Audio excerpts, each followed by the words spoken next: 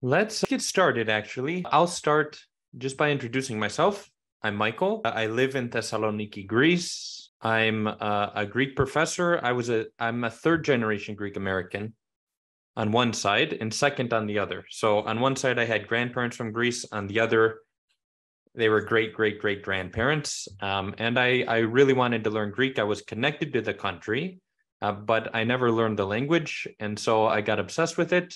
And I'm obsessed with uh, teaching other people. I teach Greek at a university. I do private students, and I'm really excited about the Greek Academy because I think I think that technology is actually very capable. We're we're very able to learn to learn languages through uh, technology, and it actually is helpful to have an online community. Uh, it really it really the online environment I've seen teaching, especially during COVID when everything went remote, I've seen that uh, there are some actual benefits. Of course, we miss face to face interaction but uh, if we're smart, we can we can make find some good things in it too. So uh, let me just tell you what what we're going to do today. I don't think we'll go over an hour. You can feel free to interrupt me at any point. Uh, you can send me a message, or you can uh, pop on here and uh, say something if you have any questions at any point. What we're going to do today, we're going to talk about briefly just a bird's eye view of what it's like to learn a language, what's going on. And then we're going to talk about the right attitude and a couple of just helpful tips to how to approach learning language. And then uh, we're going to speak and kind of, we're going to have a kind of checklist of things uh, that will be crucial to, to efficiently, let's say, learning Greek, not spinning your wheels, but uh, to, to really, really learn it in an effective way. So, um, let me let me pull up a presentation here. And please uh, just shout out in the chat if you're not able to see it. We have this how to learn a language presentation. And you should be seeing a, a window here just that says how to learn a language. So how do we? Let's look first at the language learning process. So the language learning process is as follows. We're going to look at it first for your first language. What is it like when we're learning our first language? The, the amount of stages are argued about by linguists, uh, but we're going to keep it simple. We're going to have five. So the first stage is pre production. Pre production means what?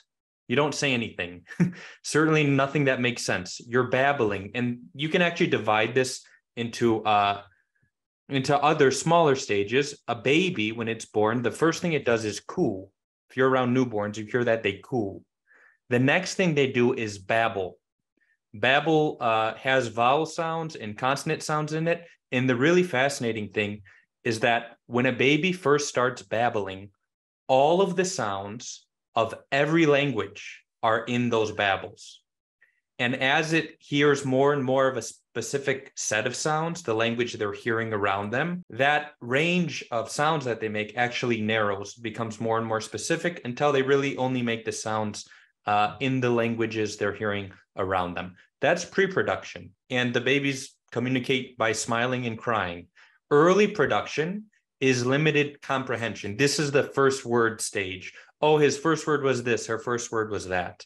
Uh, these are one to two word responses, maybe a yes, maybe a no, maybe a an I want, a very simple verb. I want, um, no like, like I don't like, no like. That's early production. And then we have speech emergence. With with every language, uh, whether it's your you're learning it as a baby, your first language, or if you're learning a second language, we always comprehend uh, more than we speak.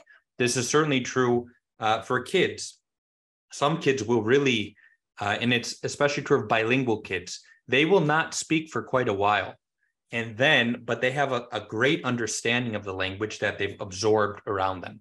And then they'll start speaking. So sometimes people are surprised at the things kids say at the level it's at because they've been absorbing and not saying anything and then suddenly they start to uh, speech starts to emerge uh, so this is this is pretty good comprehension. Stage three, it's pretty good comprehension of what's going around them.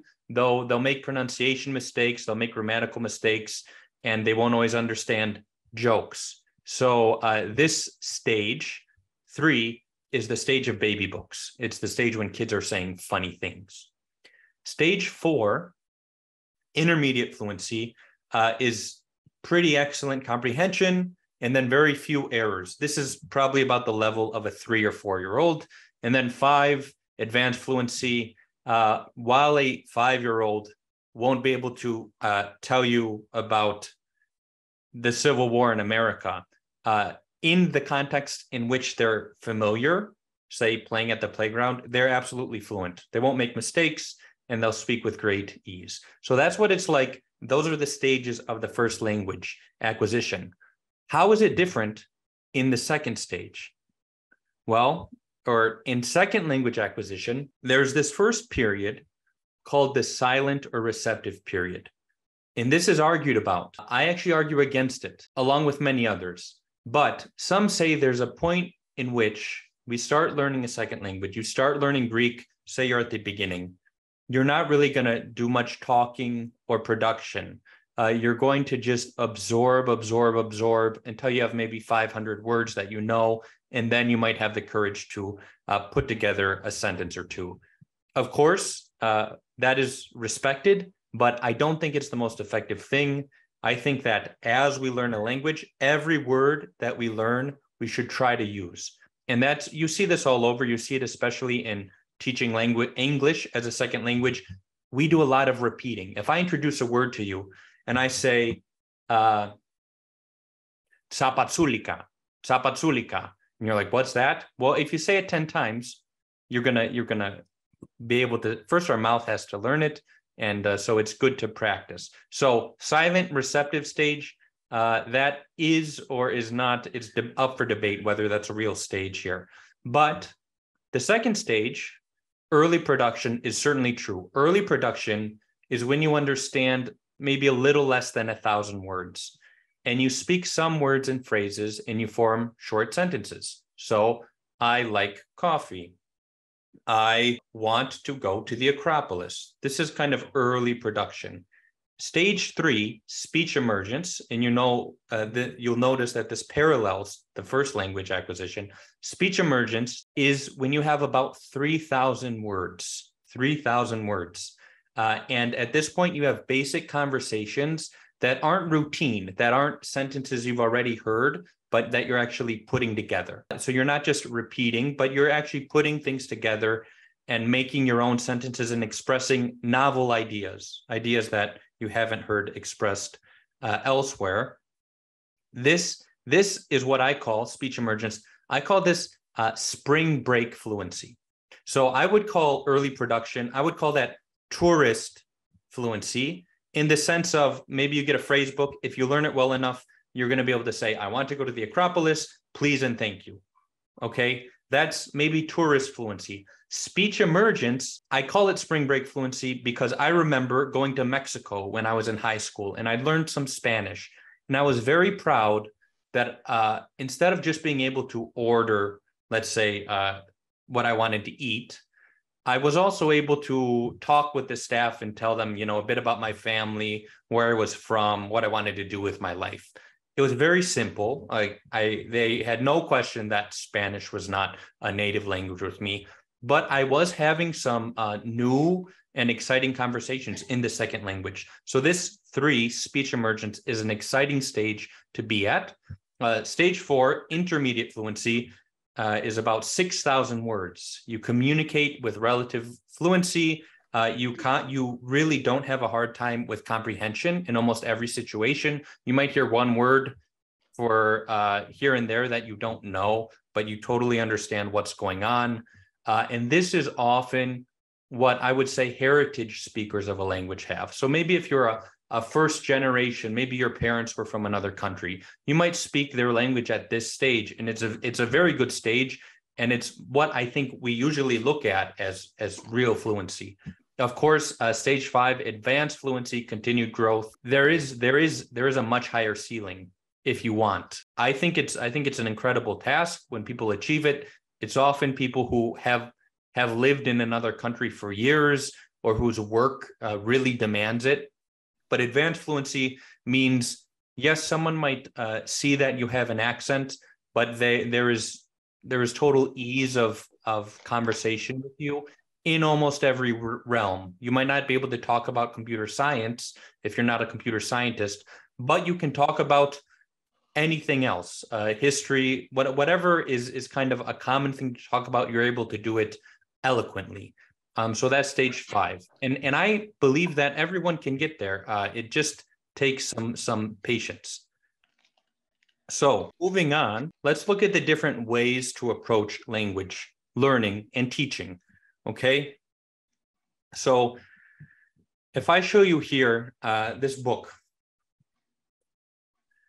this book is by a man named Scott Thornbury. He's very popular, uh, and he goes through 30 methods of teaching language. These are all in this gray box called traditional learning, and they're on a spectrum. One side of the spectrum is a natural method. Natural method means you come into the classroom and we don't speak any any of your native language. It's all in the target language. There's no explanation of what's going on. It's just communicating. You come into the classroom, I say, Yasu, katse, fkaristo, dose, stilo, stilo, and I just start talking to you in the language. That is the extreme of a natural method. And then there's also, on the other hand, linguistic methods in which you would learn about the language almost like it's a science. You might compare Greek and English and look at the sentences and say, well, you know, the word agape in Greek means love, but it doesn't quite just mean love like uh, when we say I love cookies or I love Sally, it means something else. And we might compare sentence structures and be very grammatical and fill out charts. Those are the traditional methods. And then, of course, modern learning is what? It, there, a new avenue has been opened up, and it's the internet, it's uh, data, a lot of information at our fingertips.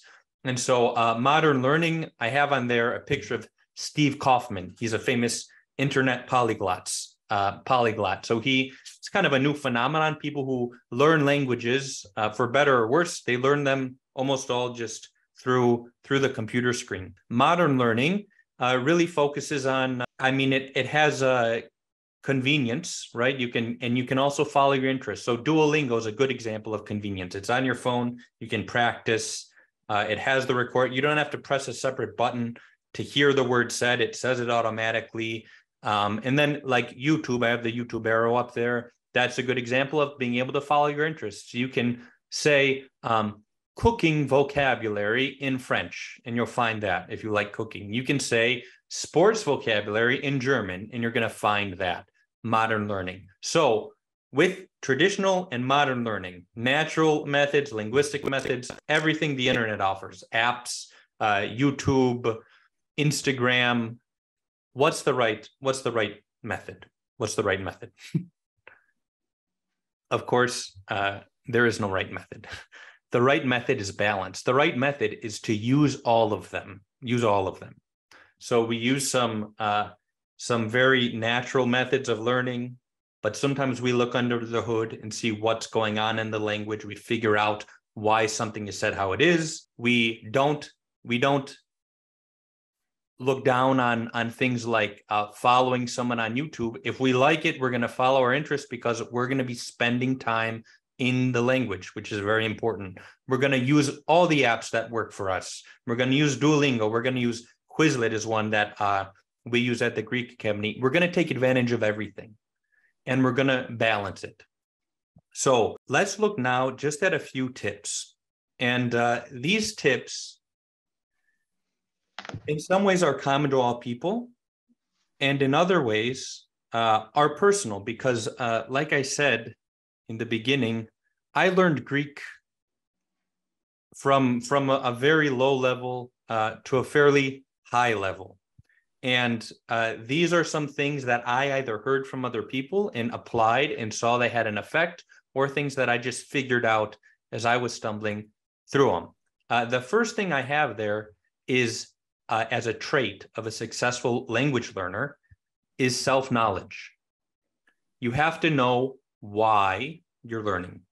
Okay, this this is very important for anything we do because when the going gets tough or just we're a little tired, if we don't have a reason, if we don't know why we're doing something, we're going to stop. We're just going to be guided by our whims. We're not going to be able to fall back and say, you know, I'm tired, but I'm going to look for five minutes at these vocabulary words because it's important to me to learn Greek, because it's important to me to, I don't know, be able to visit and travel in Greece, uh, be able to make friends in Greece, be able to communicate with my family or my in laws in Greek. We have to know why, and it's good to keep that at the front of our mind. So, one important trait, maybe the most important trait of a successful language learner, is to work in your why. Second important trait is honesty. And here I mean honesty with oneself. We have to be honest about our strengths and our weaknesses. Honest about our strengths means not feeling guilty for doing things in the language that we like. It's actually of great benefit that there are so many things we can do uh, with Greek just by opening up a laptop. Like I gave those examples. You like cooking, you like travel, you like sports. Follow your interests, do the things you like, because for better or worse, any time you spend using the language is helping you as much fun as it is, you might think you're not learning anything. You're going to learn something, even if it's just listening to songs you like.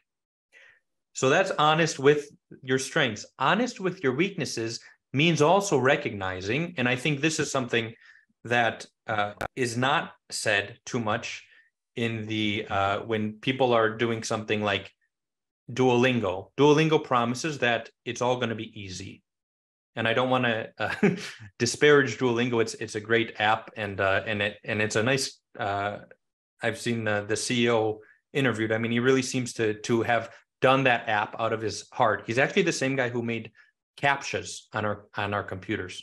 Same guy who made that. That's a side note. Duolingo promises that it's going to be easy to learn a language. A lot of a lot of there's there's things called easy talk. Easy talk. Of course, it can be pleasant to learn a language. But for someone to tell you that there's not any effort and you're not going to have to ever try, like try to remember what a word means, or maybe write down the same word you heard but forgot, you know, two or three times, that's that's not realistic. To actually learn a language, we we need some work. And so there needs to be some honesty about our weaknesses. And we have to say, okay, I don't love I don't love sitting down and doing and doing it and translating something. I don't love that. So don't do it all the time. Don't make that the bulk of your work, but do some of it so you don't end up with a gap.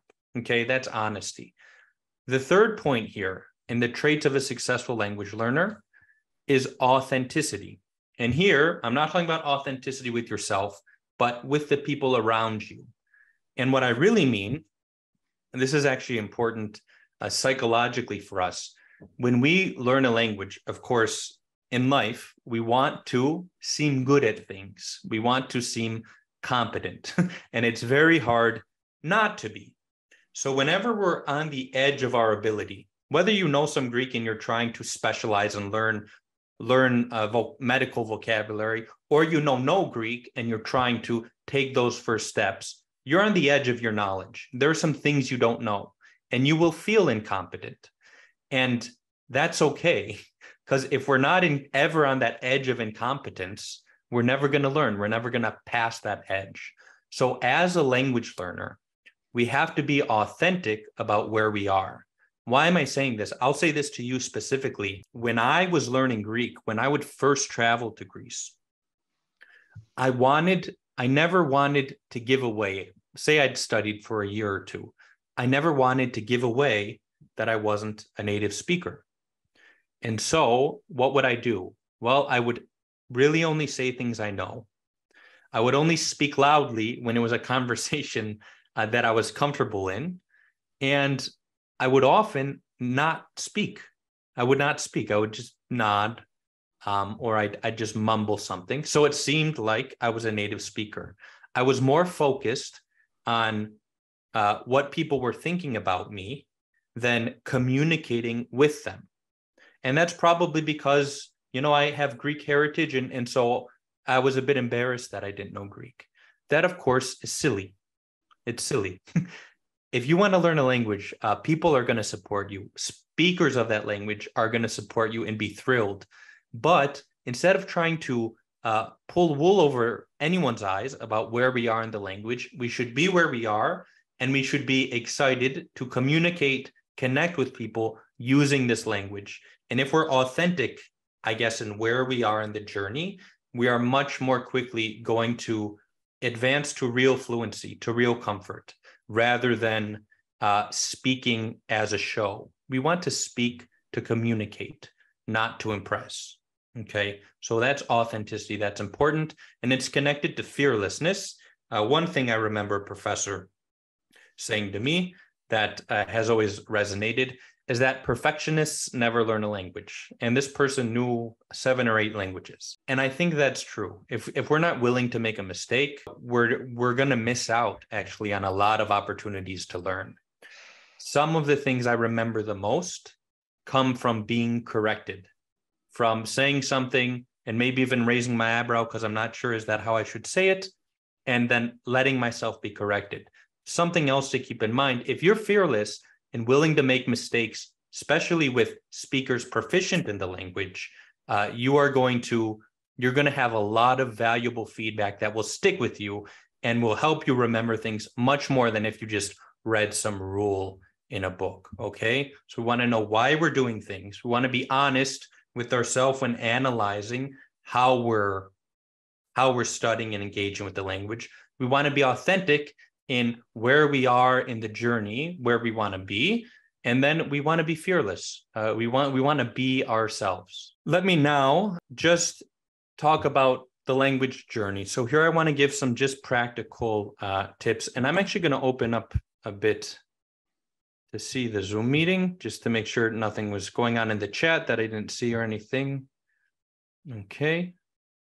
No, I don't think I missed anything sorry that this is a bit uh, one-sided right now. Everyone's getting to know each other. Uh, this is again the first the first learn along, the first live class we've done.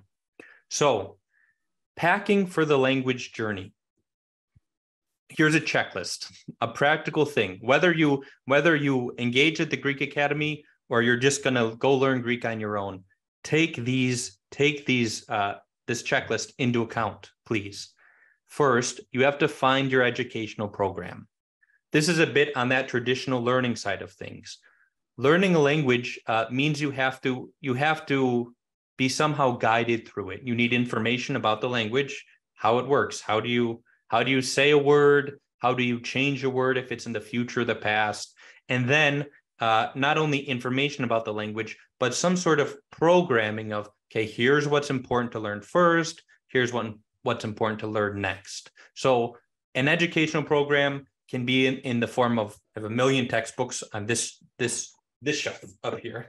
it can be in the form of a book. It can be in, in the form of a one-on-one teacher. It can be in the form of uh, an asynchronous online course. People have like just video courses, uh, or it can be the form of something like uh, the Greek Academy has, which we'll talk about a bit later. So find your program, decide what what you're going to use let's say as the base of your learning. And then you want to dip into immersion. And this is something that we can do now. You could as as we're on this call you could pull out your phone and you could go on youtube and you could find some channels that you like.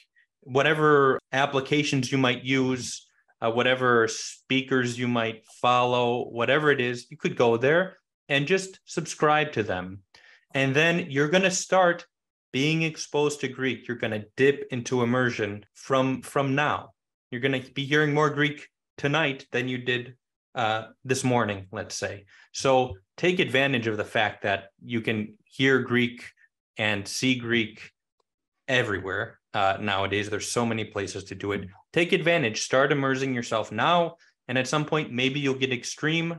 I remember when I was at uh, doing one of my degrees and I'd learned modern Greek for the most part, I would take my class notes in modern Greek, though I was in America at that point. Uh, but I was trying to immerse myself. And anytime we'd have a textbook that I could find translated into Greek, I would go and get that translation. and I would read that instead of the English textbook.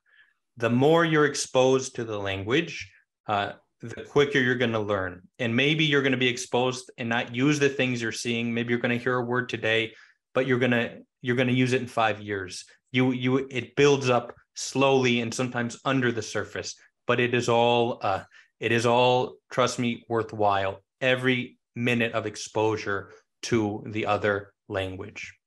And then uh, step three, checkbox three, and packing for the language journey is to commit to a routine. It's important to be realistic about what you can do, but it's also important to be consistent. So, one trap that language learners fall into is being very enthusiastic. Okay, I'm going to do this and I'm going to study two hours a day. And then after two weeks, they're done with it. Uh, you need to be real- realistic, look at your schedule, and in a very uh, calculated way, look at the actual time. Say, okay, I'm going to spend, I'm going to set a little alarm. I'm going to spend 15 minutes a day on Greek. I'm going to spend 20 minutes a day on Greek. Or maybe it's your first month. I'm going to spend 30 minutes five times a week on Greek for this first month. And then the next month, maybe 25 minutes. As you get more and more comfortable with the language, you may be more efficient in your studying. Point four here is to start a language journal. And what do I mean by that? We could start it now. I remember when I went to Greece uh, and I'd I'd hit the speech emergence point. So I was able to start having some conversations. I remember going with a notebook, and I still have it, though it's it's in America and I'm in Greece right now. remember going with a notebook and writing down words that were important to me because uh, language is personal. Your use of Greek is going to be very personal. You're going to want to be able to say things about yourself. You and I are different. We do different things. We have different hopes and dreams. We use different phrases. We express ourselves differently. So if you should have, yes, a dictionary, but also a personal dictionary, a real language journal of things that matter to you, things you remember, things you like, things that stick out, things you want to be able to say or or want to uh, want to be able to to to repeat uh, and, and to make your own. All of those should go in. I always suggest just a very personal, actual notebook, a pen and paper.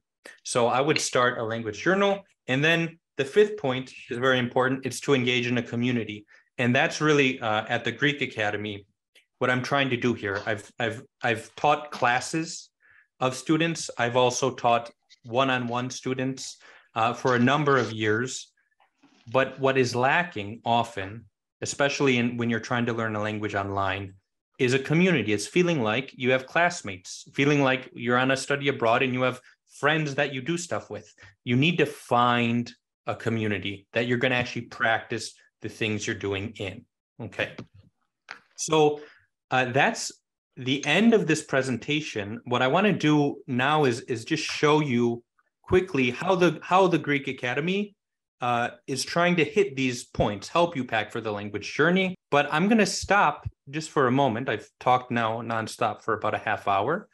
I'm going to stop. You can put it in the chat. You can log on. If anyone has any questions or comments, I'd I'd love to uh, I'd love to hear them now. So I'll just pause for a moment, take a sip of my coffee.